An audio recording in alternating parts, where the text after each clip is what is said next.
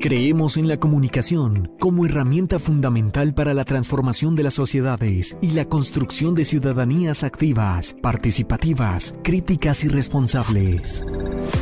Iniciativa Ciudadana Radio. IC Radio. IC Radio. Desde el primer momento que la Policía Nacional logra la incautación de 446 kilos de clorhidrato de cocaína, la captura de dos personas y la inmovilización de una aeronave en Providencia, iniciamos toda una recolección de los elementos materiales probatorios en articulación con la Fiscalía General de la Nación.